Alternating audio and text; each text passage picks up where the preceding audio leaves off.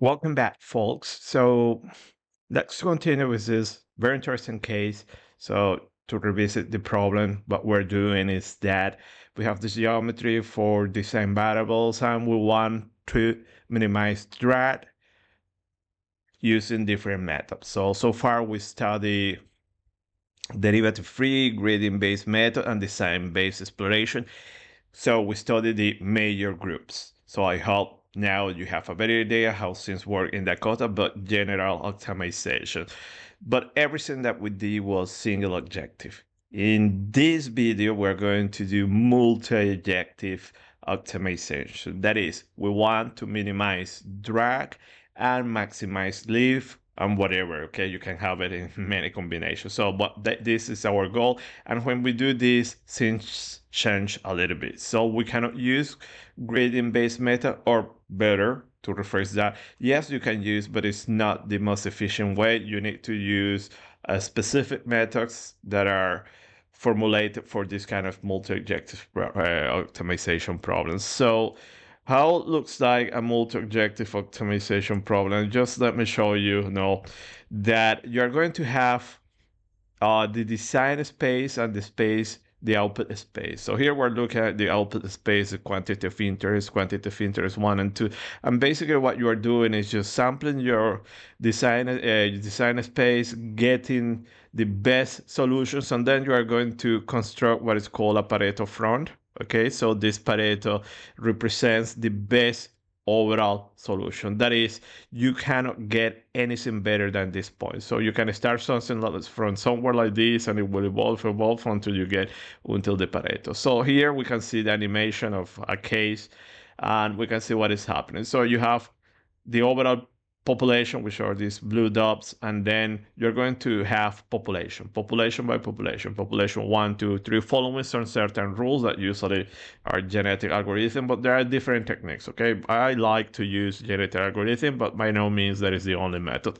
But look at how things are evolving eh, very slowly, and then the method is discarding the solutions that can that are dominated. Okay, so the green dots represent the non-dominated solution, the Pareto front. So here we see better things evolve. And this is idea. As you can see, it is an iterative method, a brute force method, requires many functions evaluation. However, positive note is that it has a high level of parallelization because each of these solutions that you're computing here, they are not dependent. You can launch many tasks at the same time. So we come back to this uh, to this uh, topic that we I have mentioned that it's very important to know your computational resources and choose a method that has a high level of parallelization because you can get faster outcomes.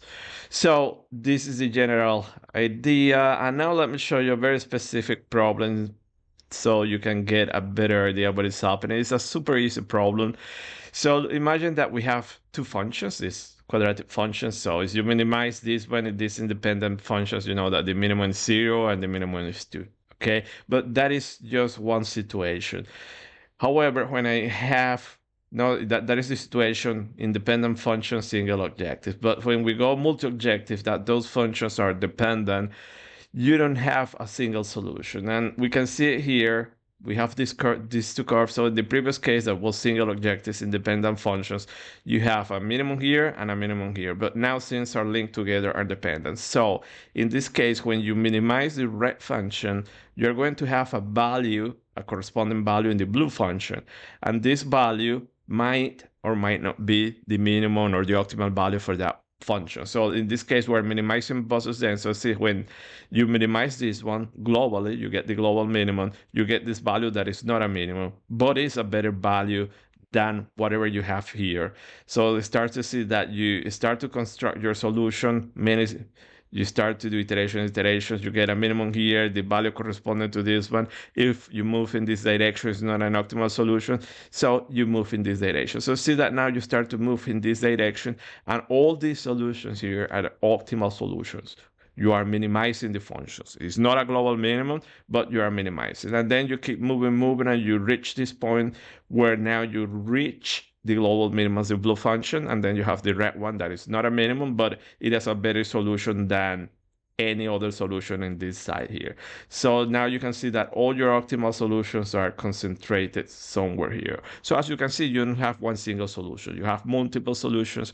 And at this point, it's up to you to pick up one, okay? It is very subjective and you need to know very well your problem. And usually when you're doing this one, since will become uh, multidisciplinary, okay? You will need to link this problem with another discipline. So for instance, talking about aerodynamics. So you're doing aerodynamics, then you need to link this to uh, structure, uh, structure computations, no structural mechanics, or maybe with performance or whatever to get that uh, that better solution.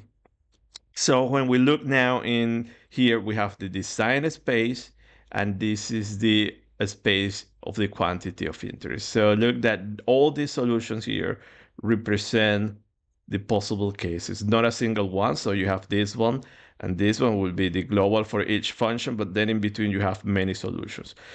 Uh, something interesting that some people might say, ah, but your global optimal will be the intersection of these two. So in this case, they do intersect. We're using two functions, but remember that can be multivariate. You can have 100 variate. So that situation is not going to happen. But also your global optimal is not Uh, is not represented by the intersection. Okay, it can be any of the solution. It, it is up to you to pick up one. And this is your Pareto. This is what you construct at the end of the day. So design variable space and quantity of interest space. You put everything together, and you have this Pareto. As you can see, okay, each of these cases that would be a better solution uh, or in reference with the non-dominating solution, what we discarded in this part here. So it's up to you to pick up one. So in this case, we have no quantity, the quantity of interest, the objective functions are competitive, meaning that if I increase one, the other increase. You can have it also oppose and you increase one, the other decrease, and so on. Uh, also, this is the, not the only shape of this Pareto. It can be like this, can be like this, like the, the other direction, and so on, and it can be discontinuous. So this Pareto can come in many flavors. So this is this is it now. What happens in multi-objective optimization? And to illustrate with another problem, this this one I was very was trivial a little bit, was a super simplification, but it's an interesting case. So it's a little bit more practical. So now imagine that you want to optimize this con here, and what you want to do is minimize S, which is this variable, and minimize T, which is this variable. So it's the summation of B and SB, it is the base area, S is the lateral surface. So basically we want to minimize these two and also we have a nonlinear constraint. I want to guarantee that the volume is always more than 200. So when we talk about nonlinear constraint, is this one something that is derived from your design variables. It's not directly computed. Okay, so you need to compute that. These are your linear constraint, okay, the limits of the design variable. So these are very easy to implement. These are unique to, to, to compute it, to give it to, to, to the method, to the iterator, to the library, whatever you are using. So this is the problem. And what is interesting that if we look at the the previous case now that we have the, the the the quadratic function is you look at the streams in this case you can get these two solutions which are optimal solutions. So here this is the global minimum of s and the global minimum of t and you get these two solutions. And to get these two solutions you can use a gradient based method. So you are in your design space whatever it is your design space and you start from an initial uh, initial position and you can converge to this or to this or something else. But as you can see, you use derivative free, it's quite difficult to, to get all those uh, feasible solutions because you need to run many iterations. So here's where you start to see these uh, genetic algorithms become very efficient. But what is also interesting that you get these two solutions, but in between you have many more solutions that are a good solution as well. Not necessarily these two or just one, it will be the best solution. So there are many, many solutions in between that you need to compute. And those solutions in between that you, we compute using, uh, in this case, the MOGA method, uh, multi-objective genetic algorithm, it will be given by this Pareto. So this Pareto represents all those solutions. And look at here, there's this green, green dot here represent this solution and this solution that was obtained using a gradient-based method. Okay, so I started from several locations until I arrive here. So it's quite interesting because you can start from somewhere here and still it's not going to arrive to a point here. It's going to arrive or here or here. And to get these points, maybe you need to get closer. It's, it's very tricky. You will get the idea. I, I invite you to, to try to do that. So I got this too up just as a reference using gradients and then the Pareto construct, you know, using different actions, different iterations and so on. So it will change according you know, to those hyperparameters that previously we talked in data free about about those and it's tricky to to it is tricky to calibrate those, those, but usually default values will give you some, something acceptable. Okay, so this is idea and this is what we have.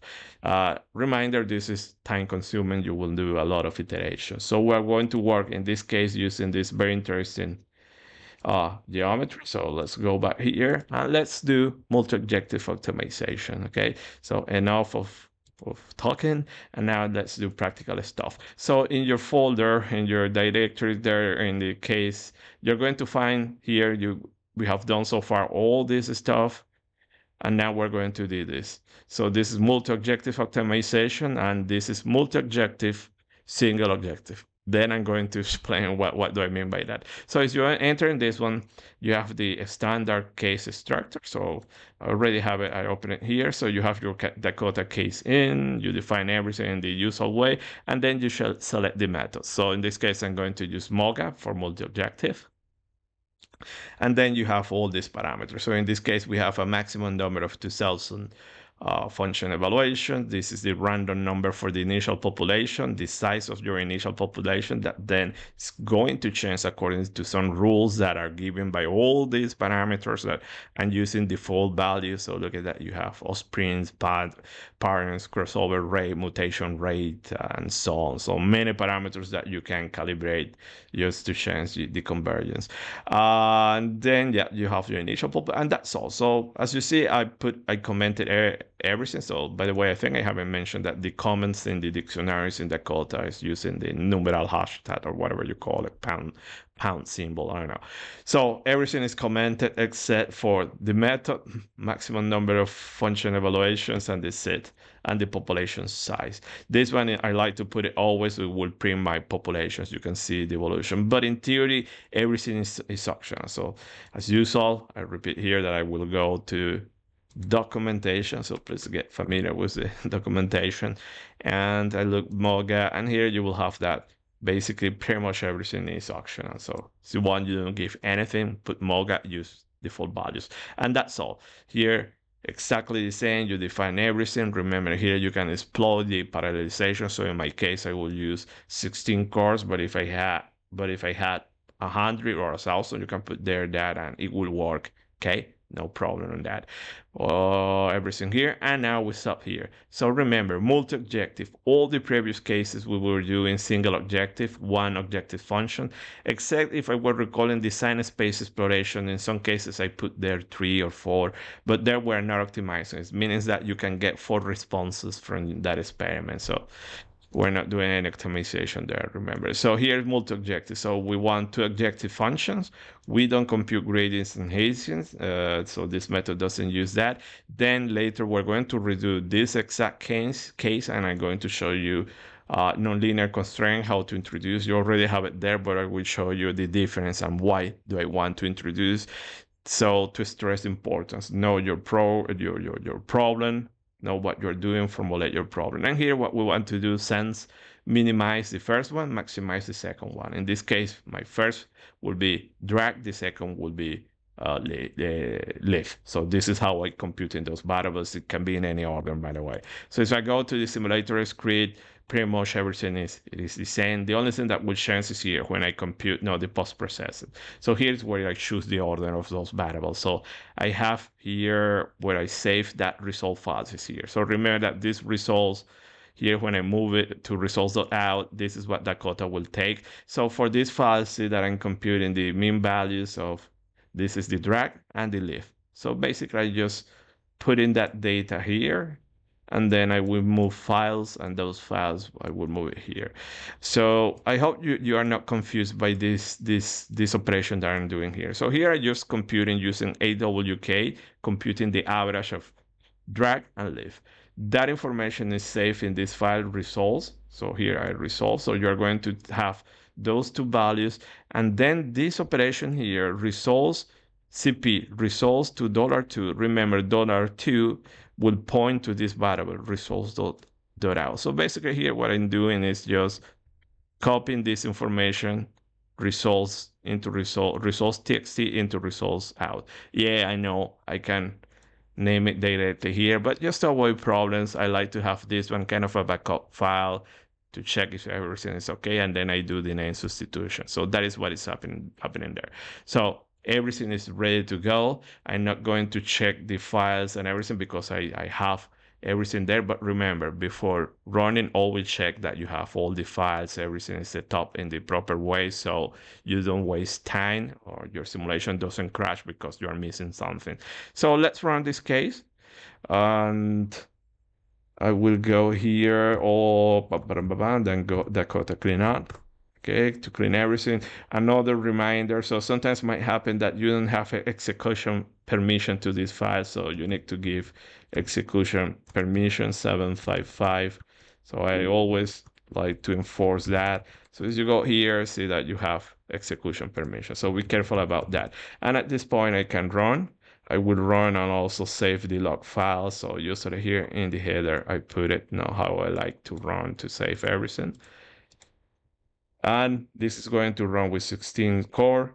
This computer is going to be to become very noisy. The fan is going to kick in. And yeah it's going to do about i don't know i think i will recall like 2000 iterations. I don't recall what. But in any case this will take a while. So at this point i will stay quiet and let it run. Okay here the fans are kicking in. So let's see if you can hear the fans Okay, I hope you hear that. So, well, let's wait for the for the final solution.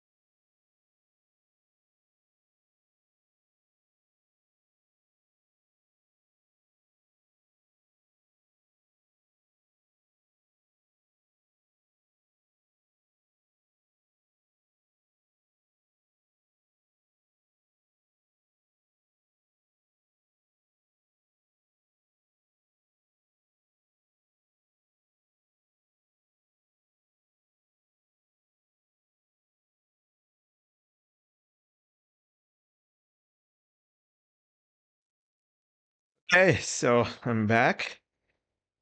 We have a solution. Okay, the fans of my computer is still very loud. Oh, you're not hearing that, but any case. So that was one. As you can see, a lot of function evaluation, but it is the computer doing the work. Okay, we're just sitting here watching. So all this uh, iterations and yeah I just left there the the processor. So as you saw everything was running in parallel. All the 16 cores using or I use using 16 but I can use up to uh, 24 and now let's take a look what happened here. So we run the multi-objective. It ran a boatload of function evaluation. So as you see, you have all these folders and I want to stress again, be careful with the space that you can easily run out of space if you're running large cases. But what interesting is in these files, okay? So remember you have the restart file. So as you saw, nothing crashed. Okay, so it's fault tolerant, but in the case that something crashed or whatever reason you stop it, you have the restart file. We already saw also how to interrogate, explore this restart file. And then we have here the population. So the populations here, you see how it is evolving. So you start for initial population. Later, I'm going to plot this, and then you will see that since it's going to evolve, move towards the direction of improvement, uh, table out, you will have all the functions evaluation, and then in final data, discards, you have all the discarded point, and here you have your final solution. So let me open that because in SOG it was a single point. Now here see that you have a mul multiple points. So now this will be your Pareto. So what you see here is your, your design functions, design variables, one, two, three, four, and then drag and leave our objective. So we wanted to minimize this and maximize this. And all these values represent an optimal value. And already by exploring this one, you will see something interesting here. So see that we're in line with the previous uh, cases, the single objective that was something about 054, 055. So see that we have all these values and it slowly is increasing because you're making that effort larger, but you keep low, but you're increasing lift. So in this case, would be better if you look at LD ratio, the ratio of lift drag would be better to have one of these cases still with low drag, but then you will see that suddenly you have this jump to another uh, solution here. So still this is low drag, but you're producing more lift. So in all those uh, function evaluations that the MOGA conducted, these are also non-dominating. It's called non-dominated solution. It cannot get any better than this. So you will have all these possible solutions, and at this point, it will be up to you to pick up which one you would like to use. You don't have a single one. You have multiple solutions. So let's do some plotting about this so to show you the Pareto in this case. So uh, one thing that, well, I run the case is you want you don't want to run this exact output, you have it here. Okay, I already put it there so you you you, you can get you can plot everything from that. So let me go come here. So I have this small, these are the steps to do the plotting with gnuplot. So I will go with gnuplot and basically I will plot, uh, plot final, uh, final solution. That is my Pareto front. So let me go and take this part here and paste. And there you go. This is my Pareto. It's a little bit small. Let me increase. Let me see. Uh, go here. Okay, so well, let me make this maximize here. Okay, and there you go. So this is with Pareto. So this area here is the area where we have a small airfoil, you make it larger, and then see that you have this jump here. So this is a discontinuous Pareto.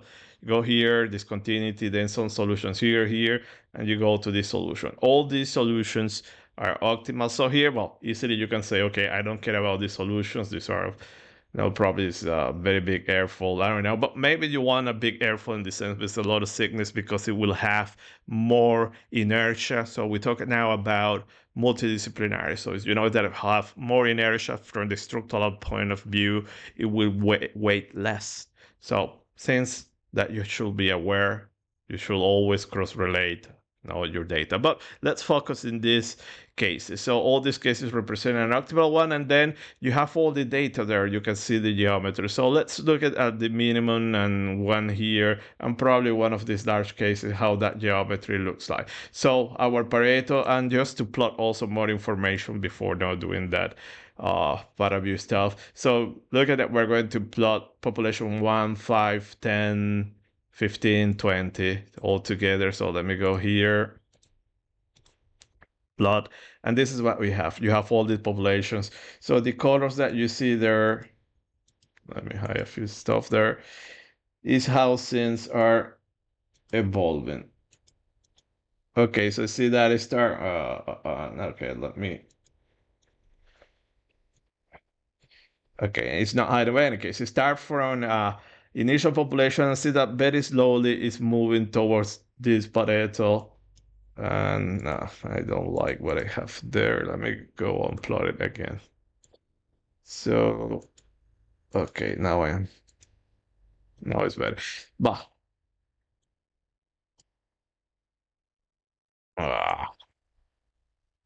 Let me get out there just to show you this. Always is usually my display screen that let me scale it to proper dimensions and this should work now.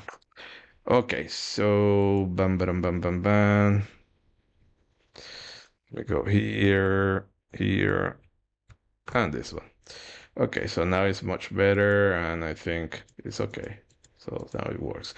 You have the problem, the same problem, well, just scale your your screen. Any case, uh, see that initial population or population one is not the initial one, and see that initially it will deploy all these function evaluation experiments and start to measure now where it will get the improved, what are the better solutions, in what direction should I move. So this is your Pareto here, and then it goes to population five, and see that now already it start to evolve toward these solutions very slowly. Population 10, then population 15 and at this point population 15 you start to see that it is identifying those values and population 20 you have there and there are more. Let me see how many populations do i have here.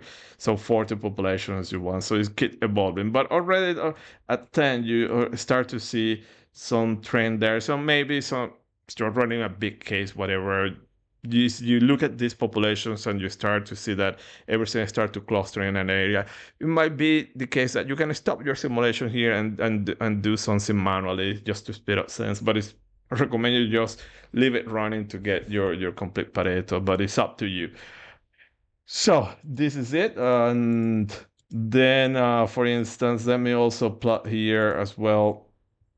Let me add the discards solutions so i think uh, bam, bam, bam, bam, here, discards. Let me copy this and add it here.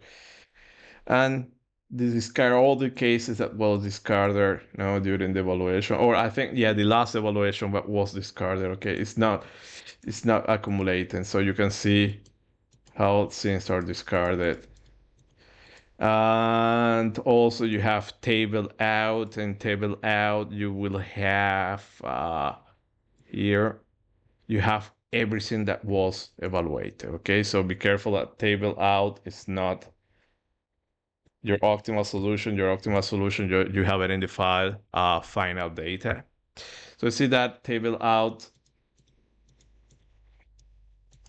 all the cases that were evaluated, you have it here. So interesting that in some cases might happen that you can violate now some constraints. So there will be some points here. So let's just to go back. I think I have it in this slide. So see that in this case, you have initial iteration. Look at that. You have also solutions here. So the Pareto, in this case, you you had solutions that were you know, uh, beyond this, let's say, threshold. And then after iteration one, they are immediately they are discarded because they are violating a, a a condition. In this case, that didn't happen, but can happen. So didn't happen. And yeah, there you go. Um, well, now let me close. So this is how you evaluate the data in this case. So remember, these are all your populations. So you can see how things are evolving. Final data, you have all the points that you can use to construct your Pareto. And now let's see, for instance, the Pareto. And let's say, for instance, this case, let's see, okay, that information I need to cross-relate to see the specific work directory. I need to cross-relate it. Uh, some, somewhere in, in your string, in your output string, uh, there should be, you, you should see that information. I don't recall where, but in any case, you, you, it's not a big of, of a deal. So let me go there. And you have one key, so it will be 1631 so just to show you that there are different solutions. So CD word there 16, 16, I forgot, 31. Then let me launch Python. Apply and okay, ah, okay, so I still go here. Uh, it's not much. Okay, let me go and adjust again this display settings. Sometimes can be a little bit annoying. And yeah, I have it there. Bam, bam, bam, bam. Let me launch again. Okay, so now it's fine. So you see that the classical solution, we are familiar with, with this one. So this is that exactly, or very close to what we have in the other methods. So this is will be the minimum surface area. And then let's check another solution in my Pareto. So in my Pareto, we go here and let's go to the other extreme here. And to show you that in all those directors, we have different solutions. So let me check this one. That will be another extreme. And this one will be 15, 1451. So 1451 and let me go Paraview. And there you go. You have your other airfoil and so on. So in this way, you can check each one. So you want to plot all the solutions, know, get the shape while you write on a small script. But I'm a little bit curious about this solution. Let's see what, what are those solutions. So this is that discontinuity. So let me go to this one. I already see that this one okay this variable so i think it will be the sickness it will be a little bit high. So let's see what we have in this case. And curious what we're exploring 1937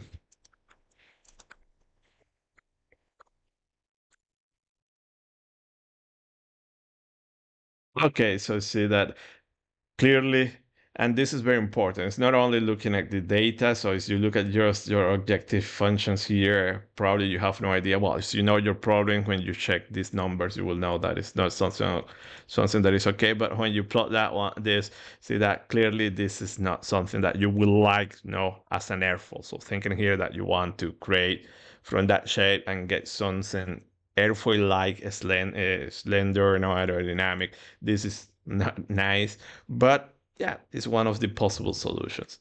So not necessarily uh, everything will, will, will, will get that shape. Or not necessarily, let me rephrase that. With this problem formulation, we can get solutions like this that maybe we might not interest. And so what we can do is add a linear constraint to avoid some situations, or maybe add a non-linear constraint. So adding a linear constraint is quite easy. So remember that those linear constraints are are here so you can add also inequalities and so on.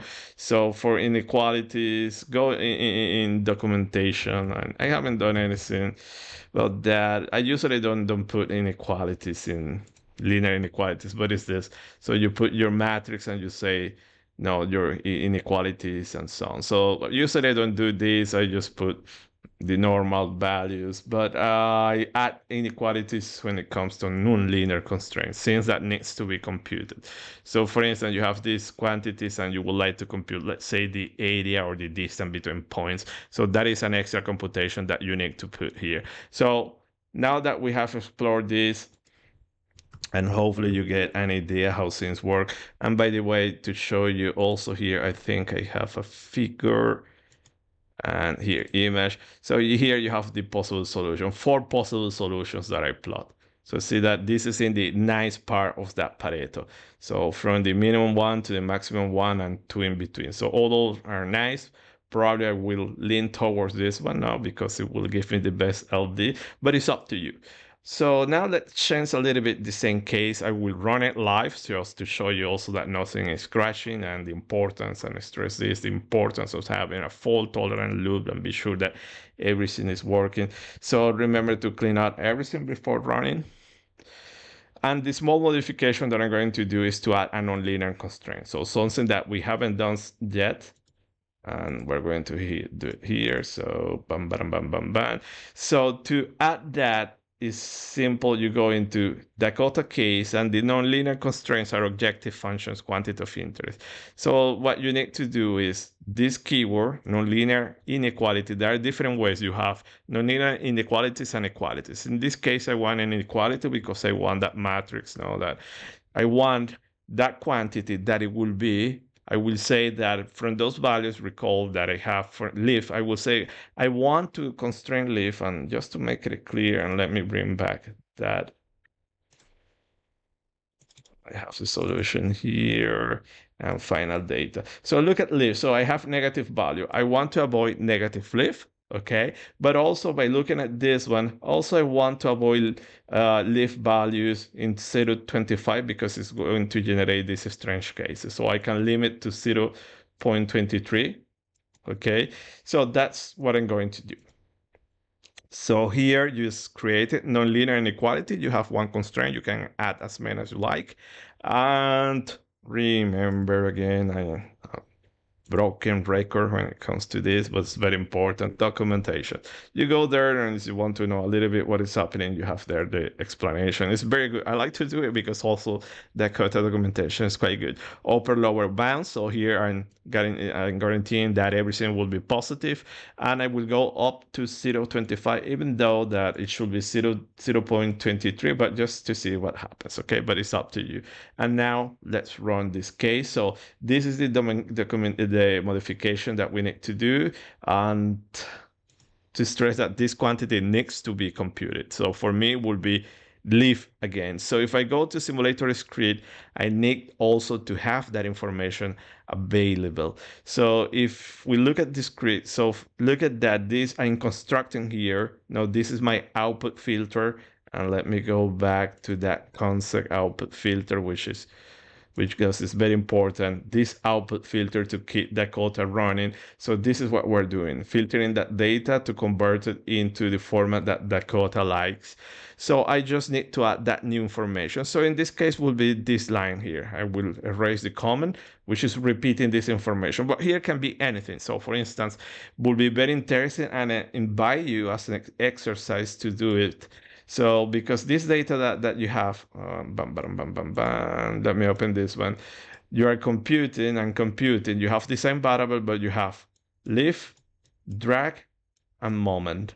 So that variable, new variable, not necessarily needs to be lift again that I'm repeating. You can say here moment, and you can do your optimization, uh, optimization to have the moment a low value or a positive value, or you can make it equal to something. So many many times that happens. So you can add that, or base, or probably you can compute the surface of that geometry to minimize also the surface. So those are quantities that are derived that are not directly design variables okay and needs to be computed non-linear constraint so have that in mind so just erase this comment and we're ready to go. So exactly the same will happen, but with that new new constraint. So let's run the case and I will let it run again live just to show you. And always I recommend you to save you the trace, the standard output input, the standard output, and also the error output that you have there.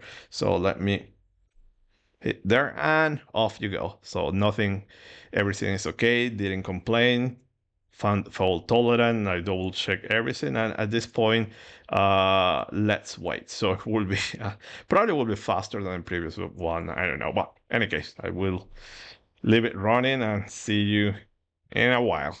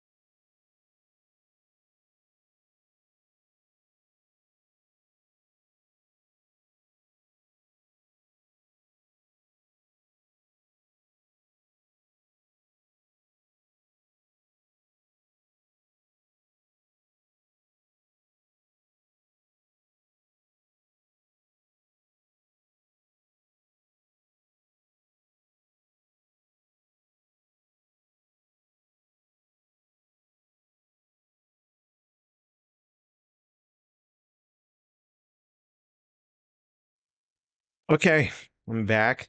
So, well, again, we have a boatload of simulations, uh, function evaluation. So let's look at the data trees. So in this case, I think was a little bit faster. Okay, still 2000, but remember that now we have that. Let's check the final data file. Okay, And now in final data, remember we, that we added that uh, nonlinear constraint. So if I open this file here, and what we did simply say that I want positive value up to a maximum of this to avoid those strange solutions and see that now by enforcing that, so design variables one, two, three, four, uh, drag and lift, and the second one will be for the linear nonlinear constraint and see that now we enforce we don't have like in the previous case uh, the negative lift and now if we check here we go up to 0.25 and still we get those strange solutions. So I just did it in purpose because well, I knew there's a put 0.23 you avoid that. But just to show that you can control things. And this is just built in this uh, uh, in this argument that uh, remember that you need to formulate your problem and sometimes you over constrain your problem and you can converge to what you think it is the ideal solution. So for instance here, if I start to add more nonlinear constraints, probably will just limit to this one, which I think are the uh, the, the, the, the optimal solution. So probably a single one, but you are missing missing out a lot of stuff. So usually it's no iterative process, you mix different techniques and so on, just to get a better understanding of your design space. Yes, it is expensive, but in general, optimizations is very subjective. Also, this is interesting when we look at this Pareto because it is the the big question that can optimization method give you a global optimal value, the best value overall? No, there is no warranty because you always will get a small improvement that you can clearly see here in the Pareto. But if you do single optimization also, you arrive to something that you might think is a global, but then you move a little bit in one direction and you will optimize. So basically, you will run your optimization now until you run run out of time, which is the most precious commodity, until you run run out of money. You are just putting everything now uh, into your cluster or, or, whatever, or until you get tired. That's all. But optimization too can be can be an infinite process. So yeah, try to avoid perfection in optimization because per perfection will will make sense uh, very very time consuming, but also they will make it in uh, very expensive. No, perfection tends to be you know the enemy of profit of profitability. You know, so you will waste money in computer and so on and your own time. But anyways, I digress a little bit. Uh, so yeah, we have a nice solution, push, push, push, very elegant and same stuff you can explore what you have here look at your solutions and this is it. This is how we conduct this multi-objective optimization. I want to stress something that initially when you i launched the, uh, this case and I let it run like I don't know for an hour. And then when I check I didn't get the right result because I make a mistake in the simulator script. So be very careful to save everything and make it. I think I I erased this comment and then I didn't save the file. So I had to press Control S or save it. So see that those small details, they, they do count. So always check that everything has been saved. Your files are in order so you don't waste any time. So your final data and then, well, you can check everything and there you go now we have a better case here. So at this point, I think pretty much uh, we're done. Uh, something interesting that probably when you see this playback this one, uh, you saw that I was doing the post processing while everything was running. So you have this running and you don't need to wait to the end. You can open Paraview, you can do your scripting, everything. And if at one point you, you feel that you have arrived to that to that optimal solution, just stop the process now. The, and it's kill the process now. So just can be htop, just identify the process or Control C if you have that terminal window. That's all. Okay, so at this point, uh, this case is multi-objective. Hopefully, you have an idea what is happening. And I just want to comment something because you have another case here. I'm not going to run it here, or I already have the solution. But what I did here is multi-objective. No, the SO stands for uh, single objective. What does it mean that? Because can be a little bit uh, confusing. So basically what I'm doing here, I have two objective function, minimize, minimize, but it's the same objective function, which is drag now. So just to show you that the MOGA should also converge to the same solution of the of the SOGA if you put the same solution that you see here, drag one, drag two. So I'm repeating that just to show you a different method. Okay, so let's say that I feel like I have enough time today and play with these cases. And here you have the solution. And if I open final data, remember final da data, you, you have that Pareto. But as we have the same functions, I put it here, a single solution, which will be equivalent to a SOGA.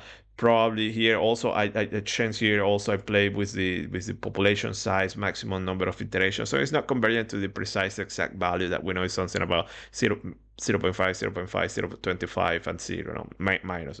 But it, it is in that ballpark, no, in that area that maybe if I go to the previous one, oops, da, da, da, here, and oof,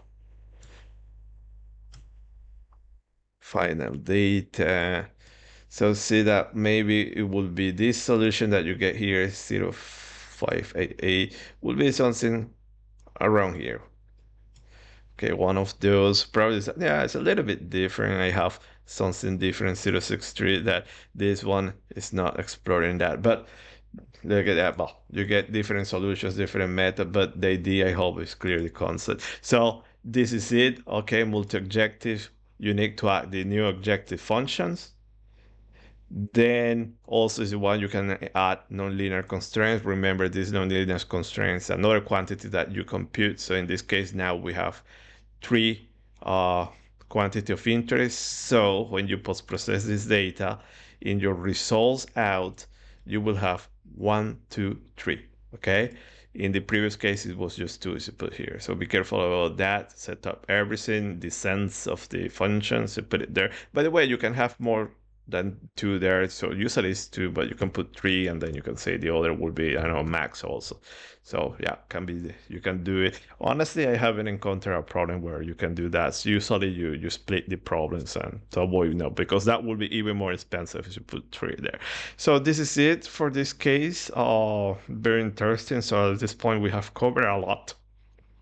I have to say a lot. So the next thing that we're going to do next video. So we have covered uh, derivative-free method, uh, design space exploration, grading methods, multi-objective. Then we move to the SBO, which is surrogate-based optimization. We're going to see three techniques. The one I like, I already talked about this one, the EGO, efficient global optimization, but also we have global and local optimization at the surrogate level. So you will see the difference is a slight different and kind of a you have to aware uh, be aware of some uh, some issues here but that's all. And finally i'm going to introduce xgboost which is a machine learning tool a fantastic tool unbeatable. So basically xgboost is to construct meta models. So we're going to get the data from the DACE or whatever and we construct a meta model. So it will be equivalent to using one of the models that we use in SBO which is a Kriging